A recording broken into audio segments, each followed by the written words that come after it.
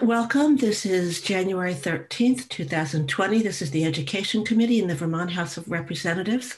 And today we are going to start uh, our listening as to how things are going on in our, in our schools.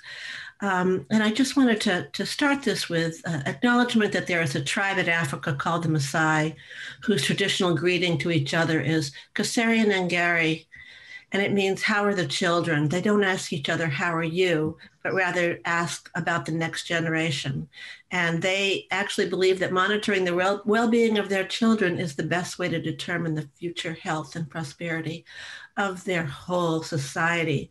And with that in mind we are very anxious to hear from you how are things going in this period of COVID? And in there, we will also want to hear are there some things that we in the legislature um, can do uh, to, to help? Are there, are there things that are barriers for you um, that we might have some, some uh, influence over? And um, I would like to start with um, superintendent. We're hearing from the superintendent's uh, now, later, we will get an update from the principals, and later in the week, we will hear from the teachers and the school board members um, and the uh, guidance counselors. So I'm really looking forward to this week informing us um, as to what you're seeing from your perspective. So I'd like to start with David Younce, Superintendent of Mill River Unified Union School District, and welcome David Younce. Uh, happy Good morning. Good morning. Thank you, Representative Webb. I, I appreciate that. Um, Appreciate being here this morning. I know a few of you personally. I'm looking forward to getting to know the rest of you over the course of this legislative year, and I'm grateful, as are my colleagues.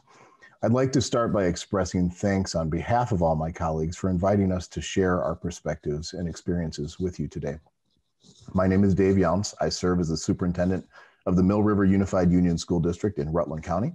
I'm also honored to represent my colleagues as the president of the Vermont Superintendents Association. VSA is an organization that represents and supports more than 50 superintendents and advocates for sound educational policy decisions in order to best serve and meet the needs of students and educators.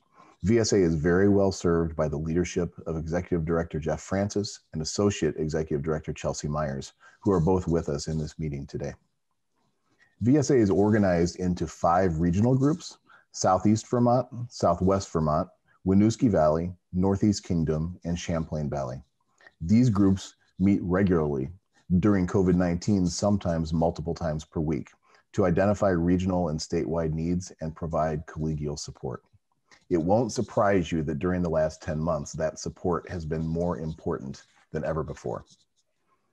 As you're aware, Vermont superintendents serve as the statutory CEOs of complex organizations in a state that cherishes local control and decision making while faced with the need to address challenges, both educational and fiscal, on a statewide level. Under normal circumstances, the role of the superintendent is extremely and incredibly challenging. In the pandemic, those challenges are exponentially multiplied.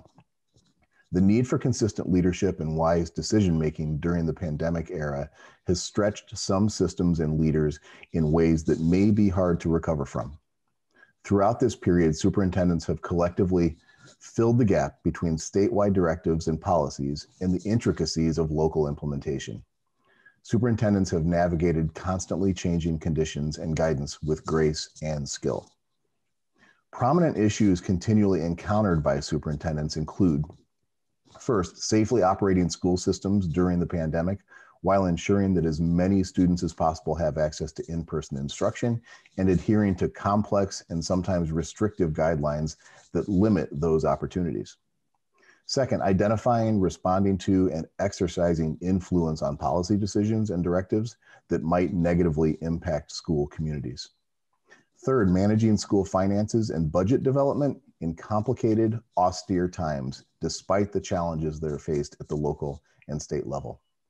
And fourth, attending as a first priority to the safety, educational, and social emotional needs of students and school staff.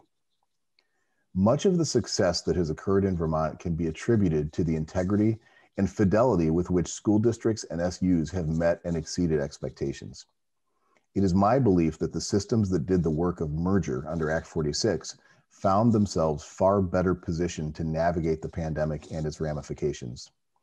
Through clear channels created by mergers as related to safety, continuity of learning, managing student and staff needs, and serving as a consistent and predictable support to the broader community, it is my belief that school operations in COVID 19 in a pre Act 46 environment would have been significantly more chaotic, fractured, and potentially deadly. I realize that those are strong words. I say them because I mean them. As we continue to survive the pandemic and its effects, the state is logically turning to contemplating a recovery plan. It will be critical that any such planning and, and expectations around that planning and the products of it be rooted in reality, useful to the organizations doing the work, achievable, and reflective of the many complex aspects involved with schools, people, and the global crises that have affected all of our lives.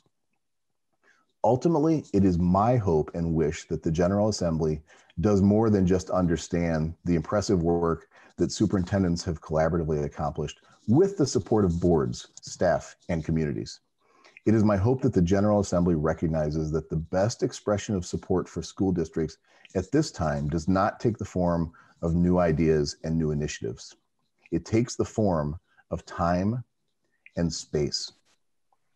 Time and space to lead through the remainder of the pandemic.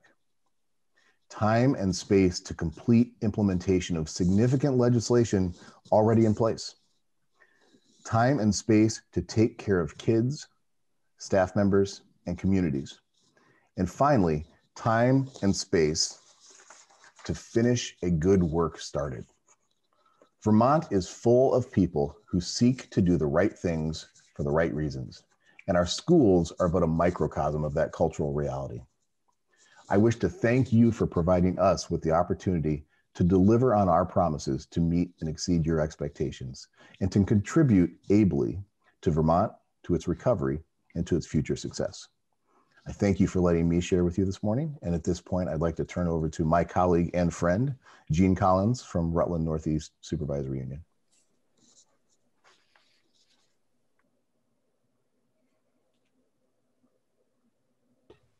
I just want to, um, to committee members, let's uh, hold our questions.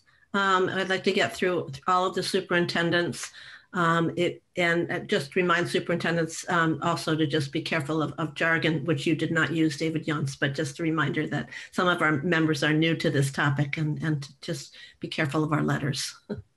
so thank you. And Superintendent Jeannie Collins, welcome back to the Education Committee. Thank you, Representative Webb, and I'm happy to be here with you all. And I actually have room to spread out my arms as opposed to being squished into a little chair. That's unusual. Um, so I am Jeanne Collins. I am the, um, I'm in my seventh year as superintendent in the Rutland Northeast Supervisory Union, which consists of two merged districts, Barstow Unified and Otter Valley Unified. Um, and we serve eight towns in those two districts. Um, like everyone, we have worked very hard to have a strong reopening plan that keeps staff and students safe and healthy and moving forward. We did a phased in opening back in the fall and it took us about four weeks to get our settled plan into place. We started with our K1 2 kids in five mornings a week, and we offered some childcare to parents um, around that time, which in hindsight, I probably would not do again because it became very difficult to staff.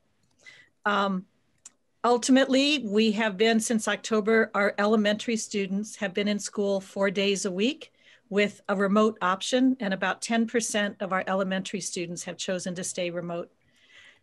On the classroom, our remote option is that the, the student actually streams into the classroom. So the teacher has a computer set up in the classroom and they are teaching remote and in person at the same time. We do not have a separate remote academy as some of my colleagues do. Wednesday is a planning day for the teachers, and students work on Edmentum Learning Path, which is um, both a diagnostic assessment tool, but also a tool that provides both uh, remediation and enrichment work for students that's designed exactly for them in kind of a video gaming format. So the kids think it's a lot of fun. We're able to get some diagnostic information and provide some skills on Wednesdays that will both remediate and enrich their learning. Um, Otter Valley Middle School and High School mm-hmm. are in person two days a week, and the students stream in the other two days a week, again, with Wednesday being a planning a full remote day. Students are given work, but the teachers are planning. And I know that sometimes people have questions why do teachers need a full day to plan? But it is very, very difficult to teach both remotely and in person at the same time. It requires a different level of intentionality and planning so that you, you don't want a student really sitting on the computer for seven hours, especially in grade two. So you have to know exactly when to have them join you, when not, et cetera. And, and that, that is very, very time consuming. So this has been working out well. Um, about 25% of our middle school and high school students choose to stay remote. We have lost a few students to homeschooling with parents, but we may remain connected with the families as we anticipate that they will return in the fall. And we have leveraged federal dollars to purchase a Chromebook for all of our students and we also provide a hotspot as well to families who need the internet. And we're able to cover all but a handful of families that way to access their online learning. Um, sticking with internet access, this is an area of equity that I feel really should be at the top of the state's plan. I think that um, this pandemic has really highlighted the inequities throughout the state of access to solid internet, um, not just for um, learning, but for families in general we also will not be able to continue to provide hotspots as we move to um, in-person classes eventually.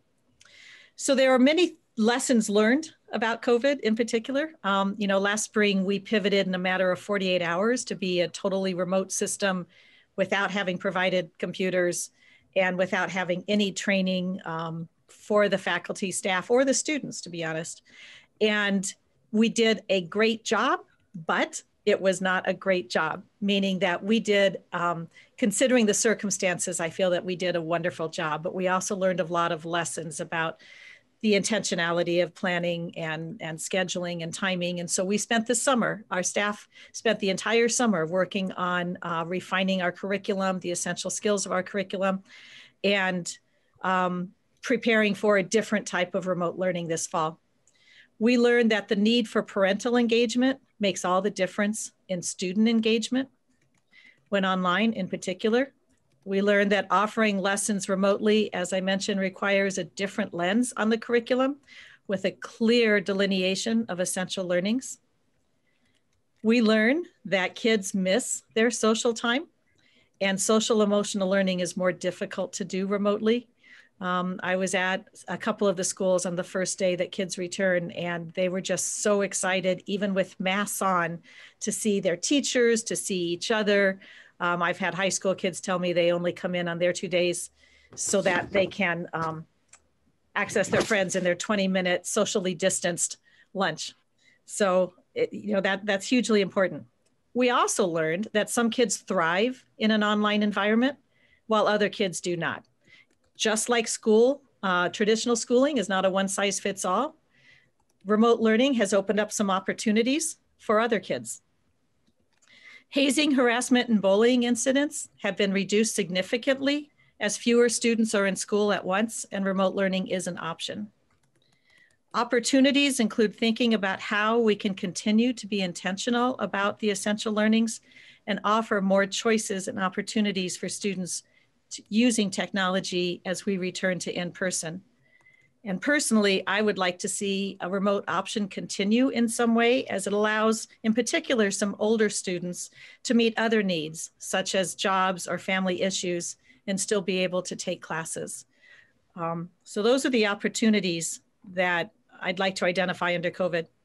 I'd like to take just a minute as well to talk about H48 I do understand that it passed through the House yesterday, and I very much appreciate that. And I appreciate um, the, some of the pieces that were added after testimony last week. I do want everybody to understand the impact on schools, just as you talk to your colleagues. I guess I can't say in the State House, but as you talk to your colleagues, um, just so that you have an understanding of what it means for your school districts. RNESU, and that is a, an acronym, um, has eight towns which means that there are eight possible dates for voting that can occur. It's not likely that there will be eight different dates. Uh, my latest word is that six are going to stick with town meeting, five or six, and two or three are considering another date. But the potential is eight different dates. Schools have a legislated timeline for our town meeting, and that timeline has already begun. And by the time this makes it through the Senate and the governor and becomes official, our timeline can't change because of the legislated pieces of it. So we will be staying with um, March 2nd. Our charter calls for our votes to be commingled. So that means that if five or six of my towns vote on March 2nd and two or three vote in April or May, I won't know until April or May on whether or not I have an approved budget, which is pretty quick if I need to turn around and, and, and go back out, which is concerning to me. Um, as well, the law doesn't actually have an end deadline, or the last version I saw. Um, so they towns could choose to vote in October, and schools have a deadline of June 1st for an approved budget, or else you revert to a formula.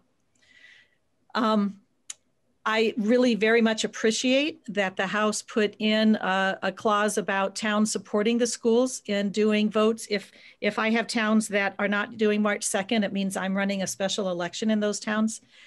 I, I don't have personnel to do that. Um, Board of Civil Authority folks um, and our towns do. And it's really important that towns support the schools if there is a difference in date between towns and schools. So I really appreciate that you heard that and put that into the bill. And with that, um, I'll just wait until there are questions at the end. Thank you. Thank you very much, um, Jeannie Collins very much appreciated. Emily Knisely from Superintendent from Orange East Supervisory Union. Welcome, Emily. And you have a you have a budget vote next week, don't you? We have a budget vote today. Oh, it's today. Yes. Right. So yes, I'm Emily Knisely. Um, thank you so much for having me. I serve as the superintendent of schools in Orange East Supervisory Union. Um, and I also serve as the trustee to the VSA for the Northeast Kingdom region of Vermont. Uh, Orange serves the towns of Thetford, Corinth, Topsham, Bradford, Newbury, Wells River, Groton, and Ryegate. We have four districts and seven schools, including a regional technical center and two high schools. Our communities have varying levels of economic need. Um, our free and reduced lunch rates are as low as 20% in Thetford and as high as 60% in many of our other buildings. COVID 19 has presented us with both many challenges and many successes. We celebrate our food program for feeding countless families, countless meals over the past 10 to 11 months. Our ability to offer both remote and in person options to our families, the willingness of our staff to redesign educational delivery models for our students in all new ways.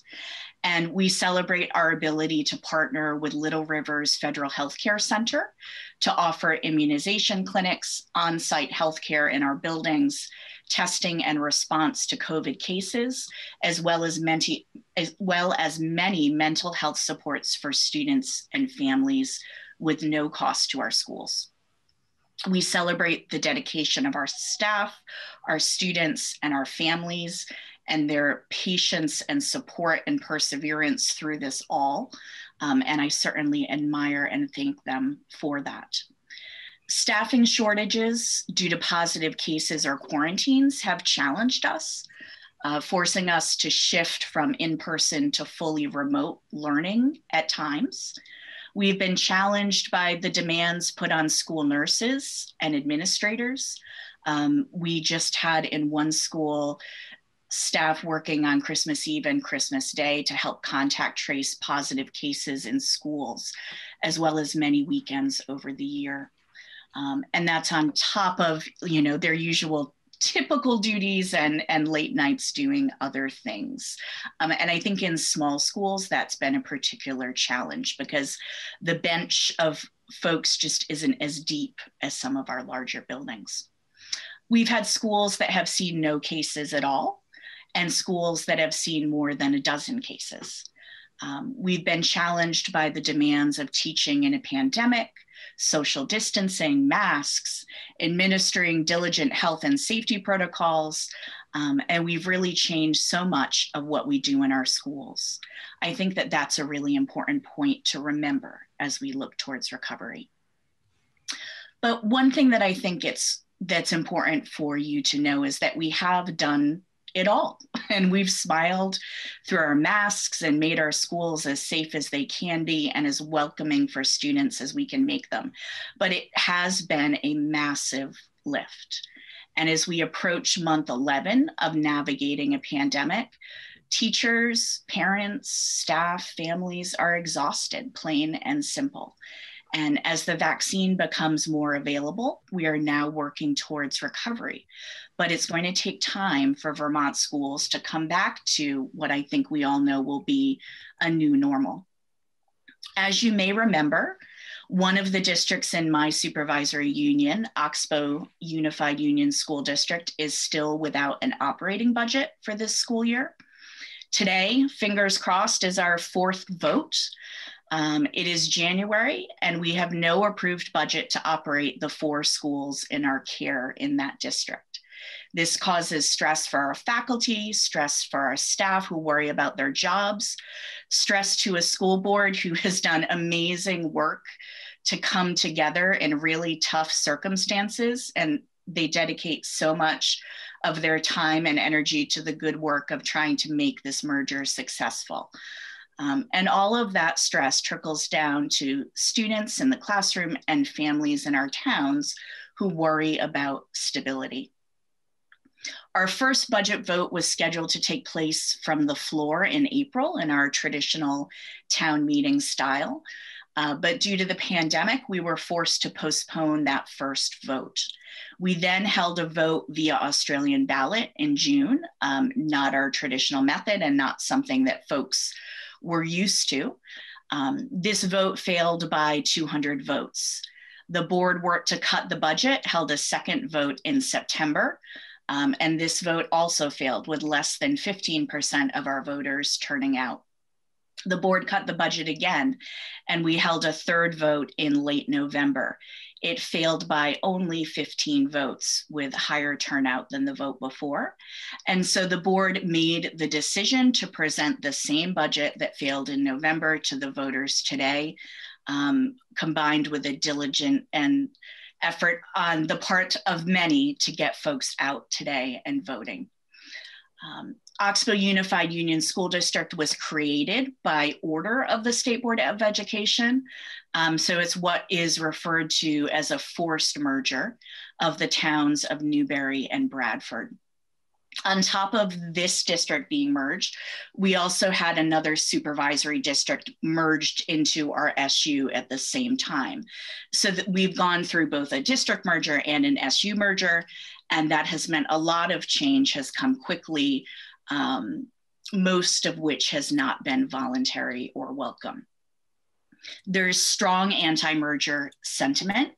Um, there's belief that the SU is too big, that local control has been stripped back and placed in the hands of a regional school board, administrators, and an SU board, and people don't like that feeling. Excuse me. On December 29th, the town of Newbury held a vote to leave the merged district. The vote to leave, surprisingly, did not pass. Hmm. Um, this is a real positive for us and the new district and the new board, but there's still a lot of work to do. The lack of budget and the upheaval by caused by COVID, I think made many people reluctant to add more stress stress to the system. And I think that that influenced the votes of many folks in our towns. Um, but despite the anti merger sentiment, the new district has brought increased sharing of resources, greater collaboration among the board and the boards in the SU, um, greater collaboration among teachers and administrators across the schools, and a popular school choice program amongst families. Teachers have moved from not supporting the merger to seeing the advantages of collaboration and shared resources in their work, which has been a, a very important shift. Um, lastly, one thing I think that's important to, to know in terms of the context of all of this is that COVID has really made the work of mergers more challenging. Um, due to the health regulations that are in place that are very important, we can't invite parents and community into our school buildings. We can't gather in public spaces and work through concerns. We can't hold meetings from our school gymnasiums and cafeterias and sit with our neighbors to work through a budget vote. We can't have coffee hours or pancake breakfasts to talk about budgets. And this has increased the feeling that local connections are being lost due to Act 46 mergers.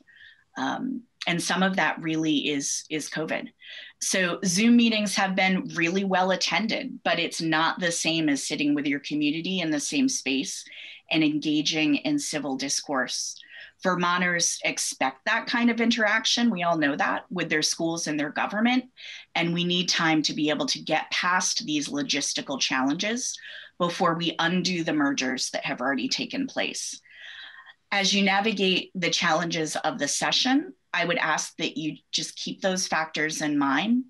We have already changed the structure of these school districts, the way in which they vote, the manner in which they interact with their community, and the way that they educate their students. And we really need time to work on being connected again in real human ways beyond screens um, before we focus on shifting our governance work again. Thank you. Thank you uh, very much, Emily, and I wish you well on your, your vote today. We'll be watching. Um, Peter Burrows, Superintendent from Addison Central School District. Welcome, Hi. Peter Burrows. Hi, thank you. So um, yeah, I, I would echo a lot of what Emily has said, and I think what I'll share is similar. Um, I want to thank everyone for the opportunity to provide this testimony today, uh, to share the work that's happening in Addison Central School District and throughout the state as we navigate the many forces that are coming to bear on education this school year. I wanted to start by sharing how grateful the entire field is of the work that our legislators are doing to support Vermont schools, given the myriad of challenges and pressures that we're facing, facing both as a state and as a country. So thank you so much, all of you, for the work that you're doing. And I do wish we were all together right now and not on Zoom. Uh, I will, I definitely feel that too. Um, so Addison Central is comprised of seven towns in Addison County, Bridport, Cornwall, Middlebury, Ripton, Salisbury, Shoreham, and Weybridge. Um, our communities have a strong history of supporting schools. Um, we voted to become a unified district in 2016. And through strong collaboration and systems driven work, we've accomplished a lot um, during this time together um, and, and accomplished a lot that we couldn't have accomplished as a supervisory union. Um, there are lots of examples of the impact of being a unified district has had um, for our students. Um, one is becoming an International Baccalaureate World District to prepare students to be reflective and principled in a world that is increasingly global. Uh, we've made changes to many of our systems. We've become more efficient um, to serve students. And I, I think the biggest impact has been the ability to develop a singular vision and and lean in and and begin to tackle some of the demographic and fiscal challenges that we're facing um, today. Financially um, and we're just we just adopted our budget on monday night. Um, the board adopted the budget. Um, we are now in a in a somewhat challenging position where um, the, the lines between our, our per pupil costs and the excess spending threshold have crossed and this year we find our per pupil cost is $500,000, roughly $500,000 over the excess spending threshold. Um, prior to unification, only one of our eight former districts, we were eight districts previously, um, had decided to spend over the excess spending threshold. And a tension that we are currently feeling in our district is balancing our, our spending and, and, and how much we're willing to spend um, with the tax burden we believe our community can sustain. The ACSD board has been engaged in a facilities master plan over the last four years to work to build a long range vision for spending and determine how uh, we keep all the valuable resources in all of our schools. This work has ranged from looking at facilities investment in our schools to a lengthy elementary study to consider consolidating resources in fewer schools to increase student access to those resources. The impact of cutting resources every year to stay below the excess spending threshold to avoid double taxation will continue to diminish supports for all students. The tension between keeping town elementary schools and diminishing resources is our greatest challenge. Um, as you may know, yesterday there was a vote to secede by two towns in our district, Ripton and Weybridge. The proposal to secede in Ripton was approved. Uh, the proposal to secede in Weybridge was rejected. The board has recently postponed a final decision on school consolidation until June uh, to provide more time to engage with our community and work to make a decision together that feels most right for our students. Um, you know, I would I would also say that um, to add to that that uh, it is challenging to to do this work by Zoom and and not be together. And I think um, one of the one of the the challenges of the timing and now being over the threshold is um, this work um, has a certain kind of time pressure to it in that um, you know our pred predictions for FY23 are are seeing that that overage and this threshold going up potentially by another million dollars. So um, we we both want to to come back together and do this work physically as a community, um, not not on Zoom, but um, COVID has made that pretty challenging. Um, this work has also brought into high relief the need to designate funds for critical school capital construction needs across the state. Um, as I mentioned, we've spent four years looking at our, um, our facilities and our, our infrastructure. Schools and ACSD are in dire need of investment, as are others throughout Vermont, and we have not had state support for capital investment for many years. As local tax burdens continue to rise, I believe it's imperative that the General Assembly returns to its study of school construction aid. Capital investment cannot continue to be delayed given the state's aging school infrastructure.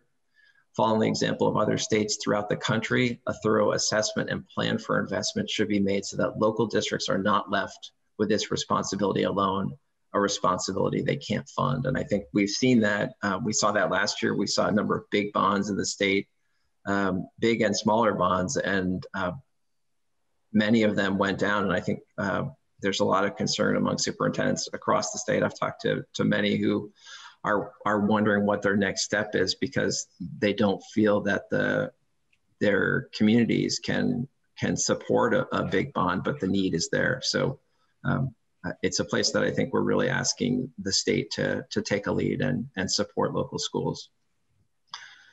COVID-19 has impacted our entire system as it has to others. Um, what struck me most about the impact of the pandemic on our district is both how much it's brought us all together and how much we've needed each other as the level of stress and anxiety people feel has become part of our new normal within the pandemic. We've dealt with innumerable challenges over the last year, and our community has been incredibly flexible in adapting to the shifting realities of health and safety guidance and the services we're able to provide within this context again, I appreciate the work the House Education Committee has done for the students of Vermont. I look forward to working alongside all of you as we make our way out of the pandemic and continue, continue to build on the strengths of Vermont's education system. Thank you. Thank you very much. And Jeff Francis, I assume that you are sort of uh, bringing these um, requests together in a form that we can take a look at um, some of the requests that are coming forward. Thank you. I figured. um, and last is Julie Reg- Regimbal um, from the Missisquoi Valley School District. So, welcome, Julie. Thank you so much for joining us today. Well, good morning, and thank you so much for having all of us here to speak with you to, this morning. As you said, I'm Julie Regimbal, and I'm currently in my third year serving as superintendent of the Missisquoi Valley School District, or MVSD. Um, we were one of the last, like Emily, one of the last round of school districts that was merged through State Board of Ed directive, and we came to into existence just July 1st of 2019. It was very unpopular here as well, um, though we have had a very smooth and successful first year and a half. Um, our district comprises the towns of Franklin, Highgate, and Swanton. We have approximately 1,800 students, and they attend three pre K through sixth grade schools and then attend uh, 7th through 12th grade at MVU Middle and High School. Again, I want to thank you for the opportunity to share the experiences of our teachers, administrators, and, and our community members through this pandemic. I have to say, last March, the move to close schools and educate students remotely was just a huge challenge. However, I have to credit our our, our community, our teachers, everyone, it has gone so well, and people have had such a good spirit about facing this challenge together. A great example of this is last spring, our food service and how are we going to feed our families was a problem that we solved together. Our food service team, our bus companies, our teachers, they just worked as a well oiled machine. And uh, working out of our high school, we delivered 186,675 meals to students between March 23rd and June 15th. I mean, that is just a Herculean task. And it couldn't have been done without a huge support from our teachers and the teachers union and the just sort of we're all in this together, all hands on deck spirit. And that has really helped us through this whole pandemic. Now we've moved away from delivering meals once summer began, um, and we began transporting students at the opening of school. And so families had to come and pick up meals. What we found is that was harder. So we actually moved to creating meal boxes. And those boxes can be picked up a day a week. And instead of prepared meals, there are ingredients and recipes for families to make meals together at their home. And that has been very popular and has really increased our participation. I mention these numbers and this emphasis on feeding our families because we just know that in Franklin County, as well as other parts of Vermont, there are just so many families for whom food insecurity is a daily issue. And we appreciate the focus from the state and the federal government on prioritize feeding our, feeding our students currently, on our return to school, um, we have a combination of in person and hybrid models going on in our district. Franklin Central School and Highgate Elementary School students are learning in person five days a week in grades K through six. Our Swanton Elementary students are learning in person five days a week in K 5 and hybrid in sixth grade. Uh, we have some staffing issues, and it's a larger school with larger numbers of students. It's hard to fit them all in the space. So unfortunately, the sixth grade there is still hybrid. Our middle and high school students in seven through 12 are all hybrid. They're educated in person two days a week and remotely three days a week. I have to say, we've also partnered with our Swanton Rec Department. They uh, are a childcare hub for us, and they are serving remote students in sixth uh, through eighth grade um, in all three of our towns who want to join as well as the students who have chosen a 100% remote option that are just missing that social connection or they feel that you know somebody else besides their families need to help them and support them through their their work. So that partnership has worked really well.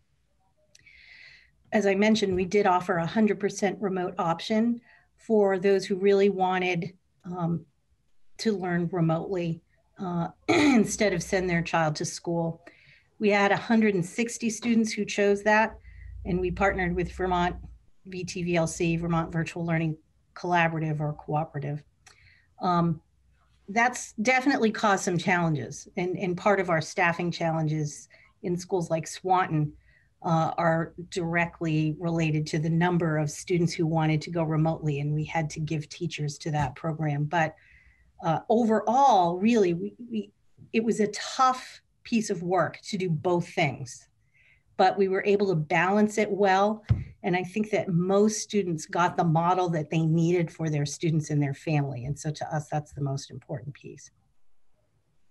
One of the opportunities, or uh, really just lucky serendipitous pieces of the work we were doing before the pandemic hit and it helped us sustain through so far this pandemic, pandemic is the work we were doing in social emotional learning in our district. So we knew that as kids were coming back to school, we were going to have to focus pretty heavily on the social emotional learning needs of our students. And we were lucky because we spent last school year developing a set of social emotional learning competencies um, with a, a, real multidisciplinary team of teachers and staff and the support of uh, the Collaborative for Social Emotional Learning, or CASEL. This work continued even after the closure of schools last March. And the competencies gave teachers the tools they needed to embed evidence based practices to support students' emotional well being. Now, it, it, was lucky because we needed it so much with the pandemic, but the work had already started. And it was amazing the, the commitment that our teachers had to finishing that work. What we know about SEL and social emotional learning is that a student's ability to regulate themselves and attend to the feelings of others is a prerequisite for success in school and in life. And this year being so extraordinary, it was all the more urgent that we treat students' SEL, social emotional functioning, through a learning lens rather than a deficit or disciplinary lens. The urgency of the COVID pandemic, coupled with the availability of this new district curriculum, created an opportunity really for us to dive in and really change the culture and attitudes about students who struggle with their emotional well being. So that was one of the positive outcomes for us. The biggest challenge, though, just by far, that we face in this pandemic is the unequal access that students have had to high quality instruction, despite, honestly, the very best efforts of our talented educators. Teachers have put into place some really very rigorous learning experiences for students. Yet, in the end, we have more children who are not attending or are attending infrequently. We have students with special needs for whom learning remotely is just ineffective. Regardless of the good plans put in place, we know that the long term effects of COVID 19 could be significant, particularly for children who already experience an achievement gap. This leads me really to discuss our current and future hopes for the delivery of special education as a former special ed director and member of the special ed advisory panel, I really believe what we do now in response to this learning crisis could either marginalize large groups of students or it could redesign a more responsive and effective system for struggling learners.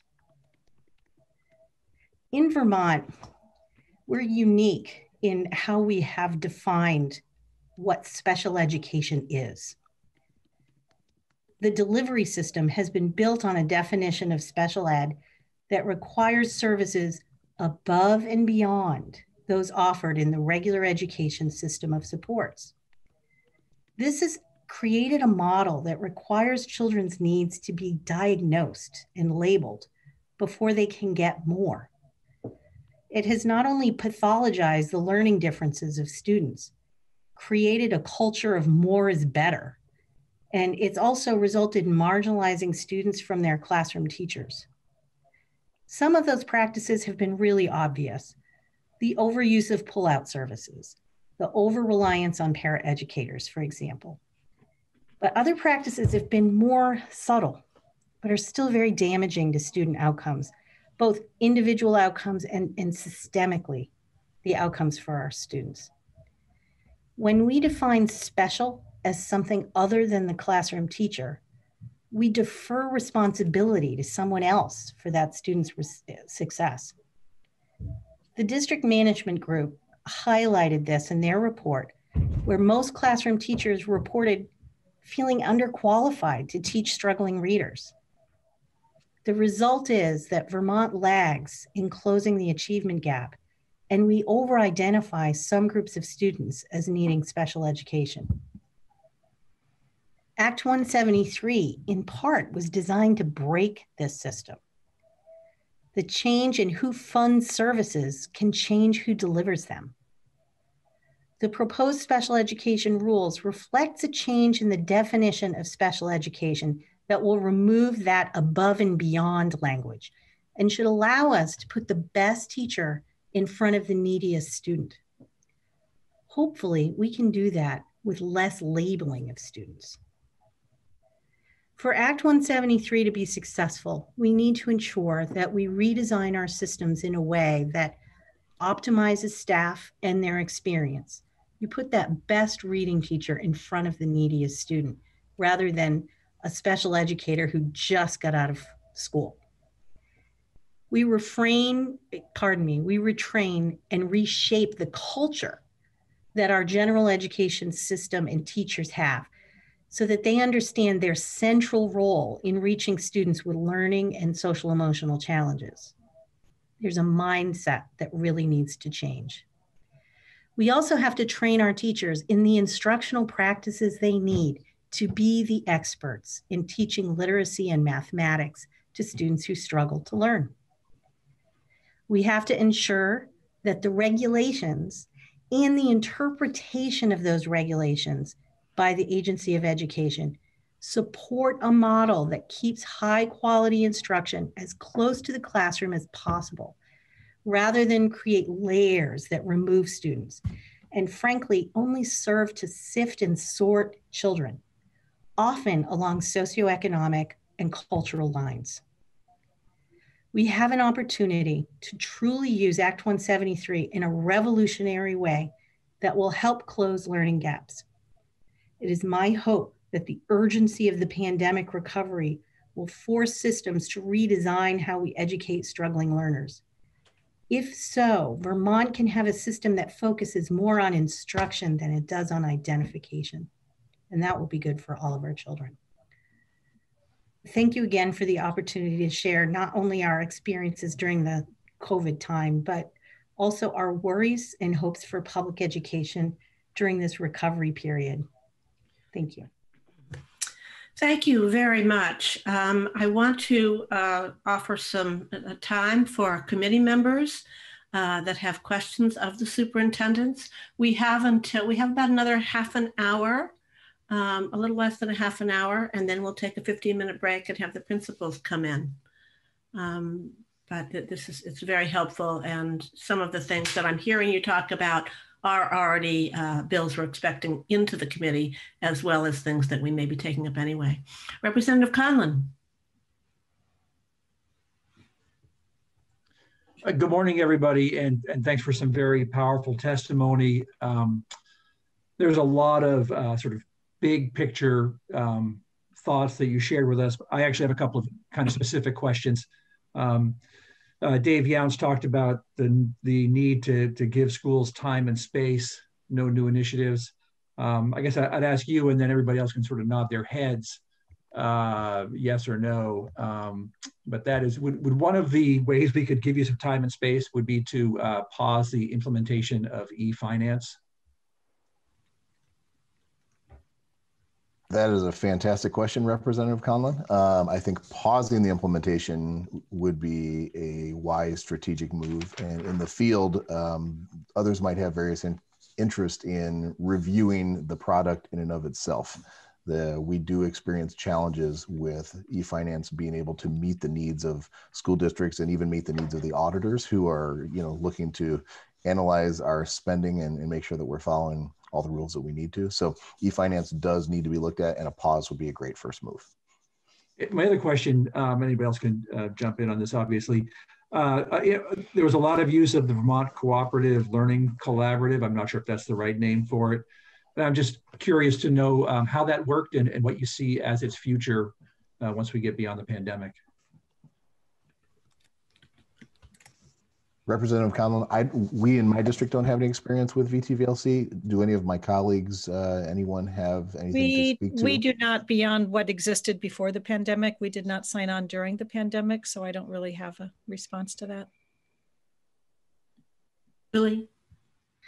Yeah, we chose to go with VTVLC rather than develop our own program. And there's pros and cons with it. I mean, they had to scale up an unprecedented number of students enrolling. And it's like running a school that you don't have control over. So it's a little bit of a challenge there. I think the biggest challenge was the amount of work that our administrative team had to be involved in meetings and problem solving uh, and that continues. That was unknown to us. But our many of our students are very well served by it, particularly older students. It gives them some options, and there there's aspects of it that um, maybe we'll be keeping for some of our students, so they can have some some offerings that we don't have in our high school. What was tough though was younger family families of younger children who were afraid of of COVID and didn't want in-person learning, but chose this and then realized it wasn't really a fit for a second grader. Um, as it, the teacher's doing a fabulous job, but it's just different teaching a second grader than a ninth grader remotely. And some of those students wanted to come back, but we had to give our teachers away. So every 20 students that enrolled, we needed to give a teacher. So that meant redesigning our classrooms. And then we had space, you know, requirements that only allowed so many children per classroom. So that became a real burden. And as children wanted to come back, honestly, it's public school. You can't say we're we're full, but uh, that was a pressure that we had to work through, and we had to be pretty darn creative to make things happen for kids. But that's unique circumstances. Jesse, could you just put on our list um, the Vermont Virtual Learning Co- uh, Cooperative for us to, to, have a moment to chat about at some point? Um, Peter Burrows and then and then Jeanne Collins. Yeah, I was just going to add. Um, you know, we've we've started to try to map out our recovery plan in ACSD to look at you know kind of thinking through this year and and expecting that next year we won't necessarily be back to quote unquote normal, but um, you know, trying to take some of what we've learned from the pandemic and, and start to, to structure how we're going to return. And, and I think virtual learning is one of the things that we were talking about, wondering, um, you know, how does that fit in to, you know, let's assume everyone's vaccinated, we're back to normal. How does virtual learning fit in based on what we've learned thus far? So I think, I guess I would say that I think a lot of districts are going to be um, you know, over the next six months to a year, looking at that and, and considering how does virtual learning fit within in a different way from the way it did previously? How does it fit in based on what we've learned, both with VTVLC and as Jeanne mentioned, um, a number of folks have their own remote academies or they have virtual learning connected to a, a classroom now. That's work that I think the field um, needs to do and goes alongside the other ahas that we've experienced over the last 10 months in in seeing that some of what we were doing before wasn't working and this is an opportunity to to start to shift things thank you um, representative brown thank you um, Ms. Knisely from the Orange East Supervisory Union had mentioned that her school district had been um, partnering with local health and mental health providers around supporting families. And I was just curious if she could say a little bit more about how, what, what that partnership looked like. Yes, so we partner with Little Rivers, which is a, a federal healthcare center. Um, and pre COVID, so maybe four, mm, five or six years ago, we began this down the road of this partnership. And we actually went through the process with a lot of guidance from Little Rivers, who have been wonderful partners, to, to go through the process of making our school buildings into federal healthcare center sites. So we went through the federal process to get that approved. Um, in doing that, that means that we can have staff from Little Rivers working in our, our school buildings um, at no cost to us other than giving them an, an office space or a, a, a spot to sit. Um, and they're able to work with students. That does mean that they need to enroll them as patients, um, but there is flexibility in the rules that you know if they have a couple of patients, let's say in a in a social skills group, they can serve eight students who don't necessarily have to be their patients. Um, and we started small in one school and we've expanded over the course of the past couple of years. And I think because that foundation was already there, the work became, began in, in mental health support and behavioral support. But because those foundations were already there, when COVID hit, we looked to them, quite frankly, for their medical expertise um, and began to expand what other pieces we could do in our schools. Um, and so we now have one of our school buildings has a clinic and a physician is, is there. Um, we're in the planning stages now for once they have vaccines, how we're going to distribute those and use the schools to do that. Um, we had a, a for lack of a better word, a run of cases in one of the school building. They came, I called and they came in and tested anyone for COVID who wanted to be tested. So it's been really wonderful. Um, and it's expanded services to our families and hasn't added to our per pupil costs Thank and you. has helped them bring in revenue in rural healthcare. Thank you. Excuse me, um, Jeanne Collins, you were going to speak on uh, Vermont uh, Virtual Learning Cooperative. Thank you. I just wanted to reinforce a point I made earlier that uh, for remote learning to continue, whether it's VTVLC expanded or whether it's districts providing their own, there needs to be internet access. I neglected to say that in the spring, 25% of my families and 10% of my staff could not access the internet from their home, and they sat in our school parking lots to access it. Um, with the hotspots, we've improved that. But if we can improve that with hotspots, I think that the state of Vermont can improve that for everybody. So you can't have one without the other. Yes, last year we actually heard from teachers parked outside of their school districts trying to deliver, you know, services from their cars. So, um, wait a minute, I've lost my hands. Let's see. I, would represent James and then Representative Austin. Representative James, did your question get answered? It did. Thank you. I was also curious about the community school aspect um, of integrating health and uh, mental health. So thank you. Interesting conversation. Representative Austin, then Representative Copley. Yes. Hi. Thank you. And I just want to extend my gratitude not only not only as a legislator but as a citizen. I think you made it look too easy um, in terms of uh, how you pivoted and I think if you're in education, you realize how difficult that was and complicated. So I really appreciate the work you did. Um, I have one question. I have two questions. One is about something Julie mentioned in terms of the learning, and I'm wondering. I'll ask my two questions, and um, maybe Jeff can answer at some point. But I'm wondering if you are thinking at all with funding uh, if we could use some of the CRF funding or that we're getting, if you have considered summer, using summer as a time possibly for remedial work for the students that have really fell behind in their skills and knowledge. So that's one question. And the other question is, I think one thing that COVID did was put a huge spotlight on the role that schools play in terms of childcare and the economy and making it possible for working parents to work.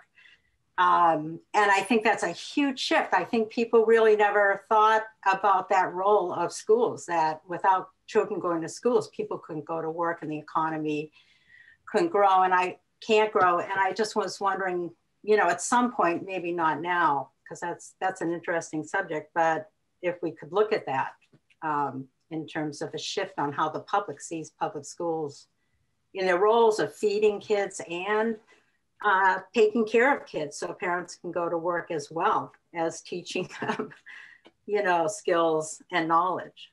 So one so, on one on on um, summer and you're on the role of school as childcare. Thank you.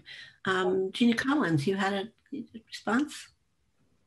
Um, summer, we are thinking about that. We haven't fully decided because to be honest, our staff also needs a break they worked through last summer. So we haven't figured that out completely yet, but we are looking at uh, credit recovery and, and some remedial learning time. But the other point I really wanted to speak to, um, yes, I think that the spotlight really was shown on the schools. And I, I think even so, it's only part of a spotlight. So the schools do provide childcare. We provide after school programs. I think it was Julie or Emily spoke about um, the food programs. I didn't mention that, but we were feeding, we were giving out 750 meals a day in the spring. Um, we're still doing about 300 meals a day that we're delivering home when kids are not actually in school. Um, so we provide food, we provide mental health, as Julie explained, and or again, I forget who explained um, the integrated services with health. And, and we, I also had a healthcare center in my previous district. Uh, we're providing healthcare services, through nursing, we're providing mental health services, we're providing food services, childcare services, and and teaching. So if there's a way that we could spotlight all of that, I I would be all for it. Thank you.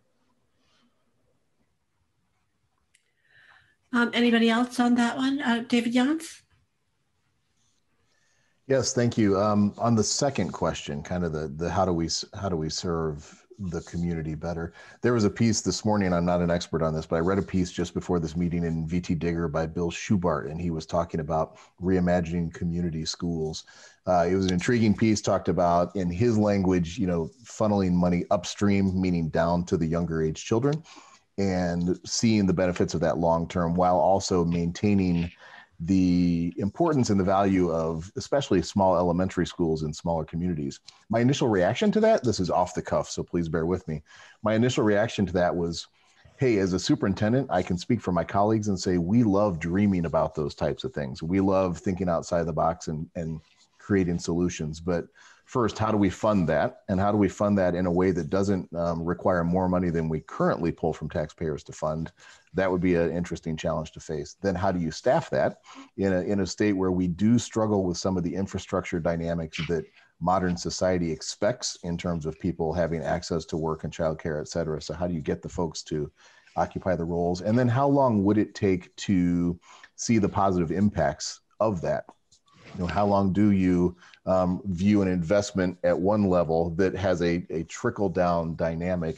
How long does it take to see the results that you're looking for? And, and that that's just bouncing around my head as we're speaking here this morning. So exciting opportunities maybe necessary opportunities but things that will require um, money people and time in order to, to find success. Thanks for asking that. Role of schools has changed a bit since most of us were students um, let's see, I think it was Representative Cupoli and then Representative Arison.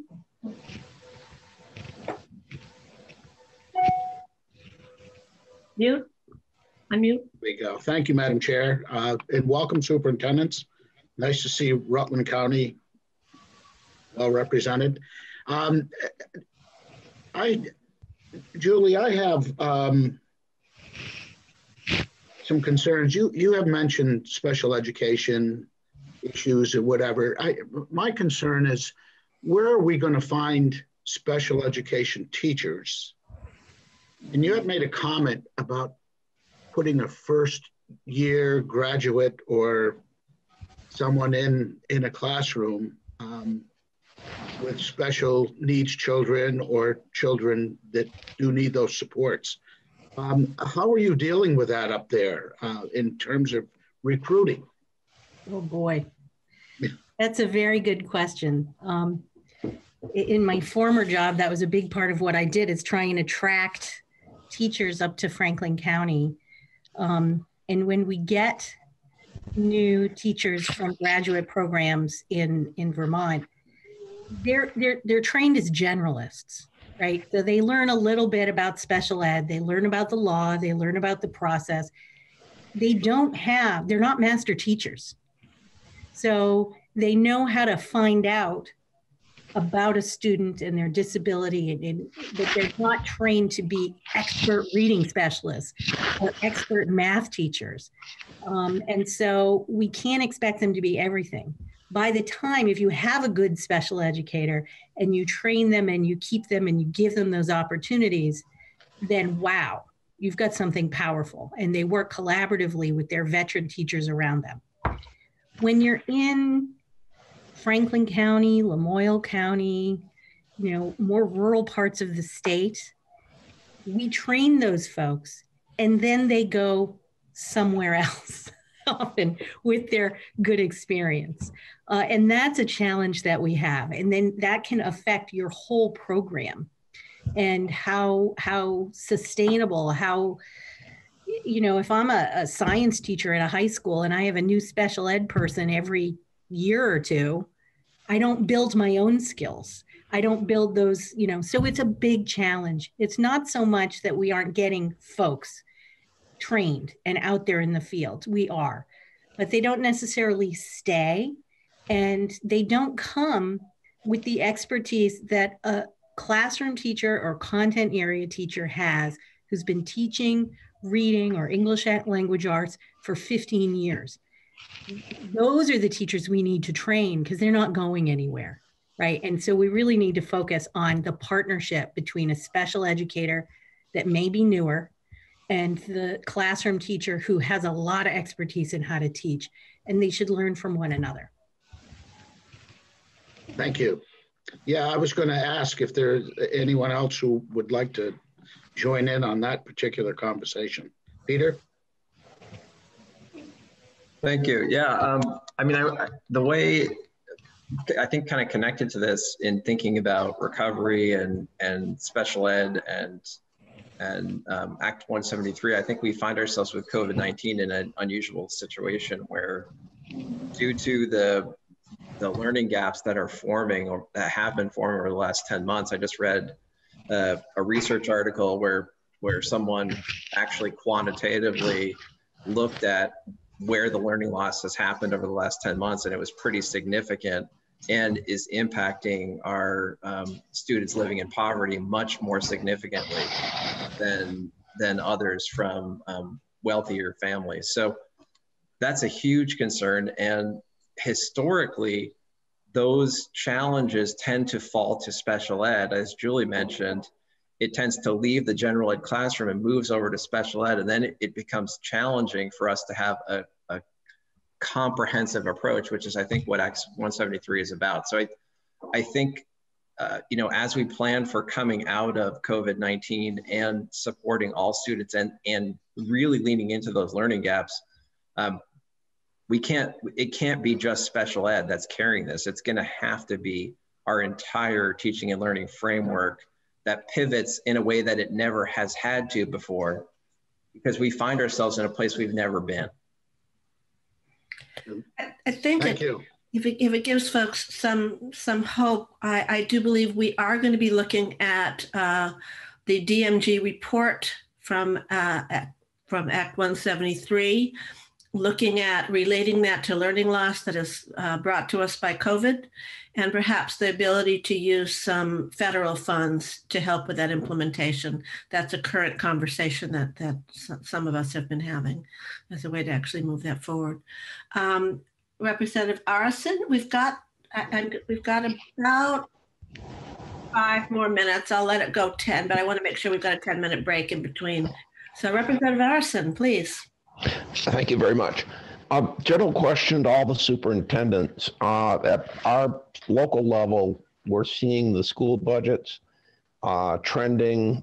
Uh, they're still passing, but they're trending to a point where we're concerned they're not going to pass. And what my question is whether or not we're seeing that trend across the state.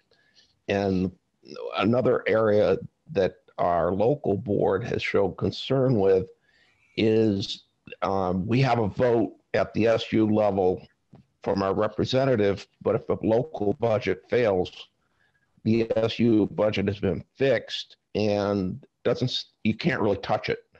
Uh, somebody could address that.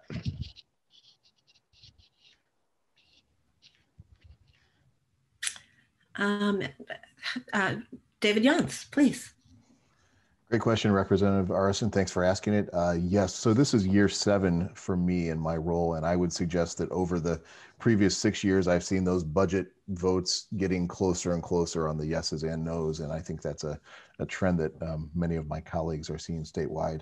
I will say, as a, we've been operational as a unified district. This is our fourth or fifth year now. It's been so long I've lost track, but uh, 2016 of July, July of 2016 we went live. And um, I do not miss the scenario where we were preparing an SU budget that was, in fact, a fixed um, number that the community had very little control over, and that it was the, the local school based budget that was the variable that, that the town voted on. So I suspect that's still the case. Um, my, my colleague Jeanne is, uh, is still in an SU context and, and might have some some feedback on that as well. Jeanne? Um,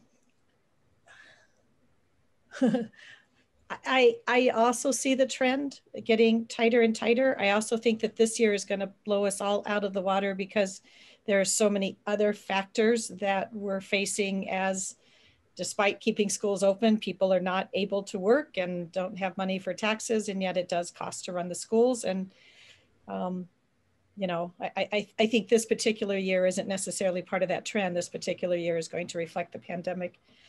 Um, there is there is talk in, in my Outer Valley community about wanting to know the cost of running each school and still having difficulty understanding that they're running an, an entire district. And you can't really tease out the cost of a school by school anymore because your staffing is district staff, not, not school by school staff. You can to some extent, but it's hard to explain how that plays out. I know that people show up at budget discussions only if their particular town school is affected in it. Um, and and um, and yet at the same time, being able to budget for an entire district allows me to retain staff that I otherwise would have let go of as we were right sizing and letting go of a number of staff. It allows me to um, therefore retain my investment in that staff and save money for the district. But it's, we're still very much in a transition communication phase with that. It's, I don't have a direct answer. That's just some information for you. Thank you. This has been um, very helpful. I'm wondering if um, Jeff Francis or Chelsea Myers from the uh, from the Superintendent's Association have any. Oh, and that, there's also Emily. I want to just maybe get Emily first, and then uh, if Chelsea, Chelsea, and Jeff, if you have something to to close with, we'd appreciate it. Yeah, just very briefly, I I can comment. That certainly has been a factor in our budget struggle in terms of being able to pass the budget that we're still waiting on. Um, and some of that, you know, if those budgets go down earlier in the season, we have certainly returned to the table at the SU board and made adjustments. Um, we continue to try to operate under a spending freeze at the SU, except for COVID essentials, just to keep costs as low as possible.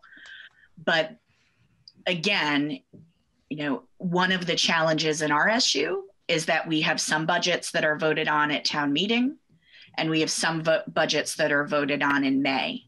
If a budget fails in May, we've already contracted a fair number of that SU staff for the next year. So it, it makes any adjustments harder. If those budgets go down at town meeting day, there's certainly more flexibility for that SU board to return to the table and make adjustments if they need to. But we certainly set our SU budget earlier in the game than that so people have those those numbers for their votes but it is a it has been a factor for us and one of the benefits again of of supervisory districts instead of supervisory unions obviously is that it's one budget and the voters do have a say in those district level things in a more active way than they do with an SU. At some point, not now, I would be interested in your thoughts on um, why some budgets are voted so late in the year and if there is something that that is something that should be considered when you have access to to your to your uh, to your town support. Um, Jeff and Chelsea, their view. Uh, thank you, Chair Chair Webb. On the question of SUs versus SDs, one of the underlying principles of Act 46 was more equitable opportunity for kids and better utilization of resources. So despite the fact that we have some supervisory unions uh, continuing to exist in Vermont, and that was thought through, it is not the, it's, you know, I'll tell you from my observation, and superintendents will attest that, SUs are not a more efficient delivery uh, structure than single school districts. And that's something that the General Assembly should keep in mind as you consider anything more relative to Act 46 with regard to the testimony this morning, um, I'm pleased with the group that we reached out to because you got a very, very good representative sample of what's going on. I think I speak for Chelsea when I say that we're proud of our association with these folks um, we're eager to hear testimony from the other uh, participants in the education delivery system. And throughout your journey through the rest of this session, Chelsea and I are going to be available to you to support and inform the work your committee. We can bring witnesses um, to you on practically any area of interest. Um, to echo Dave Younce's opening comments, space and time in terms of the pandemic recovery are very important. I think that there are very, very big issues like um, internet connectivity and broadband, learning recovery, and capital construction aid for schools that we want to see the General Assembly pursue in earnest. Um, we're hoping that there are no new initiatives per se of a programmatic nature. I think that there'll be time for that in the future. But there are a lot of lessons learned coming out of COVID, and most of them reiterate the um, the the the legislation that was introduced um, in the years preceding, introduced and approved in the years preceding COVID, um, Act 173, Act 46. So we, we are and we're on the right course. And I think we need to get back on course. Um, but it's a pleasure to be with you today and and um, and I'm happy to be here with these superintendent and uh, wondering if Chelsea has anything she wants to add. She's a great asset to our association and is familiar and will be familiar to the committee as well. Thank you. Chelsea, about one minute. yeah, uh, just quickly, um, Chelsea Myers, VSA Associate Executive Director. Um, something that was not raised was that superintendents are also contending with um, efforts to increase anti racism in schools um, and promote equity, and also contending with a lot of civic unrest. And that's something that, on top of this layered pandemic, they are contending with each day. And some communities are more ready to tackle that than others. And it's a topic that you might want to consider listening to um, practitioners about in the future. Thank you. I do expect some bills, and I also am getting questions about media literacy after seeing the storming of the Capitol, where people are getting information. So I want to give uh, committee members 10 minute break. Um, I thank you so much. Um, I, we will be keeping um, Jeff and Chelsea uh, apprised and uh, connected to our committee. So if you can, you can sort of work through them. Uh, that makes things a little bit easier for us. Um, and with that, what I want to do is say we're going to be offline. You're more than welcome um, to participate or to, or to watch, I guess, on, on YouTube, our conversation with, this, with the principals. And um, so with that, I will go offline for now and I will see the committee in 10 minutes.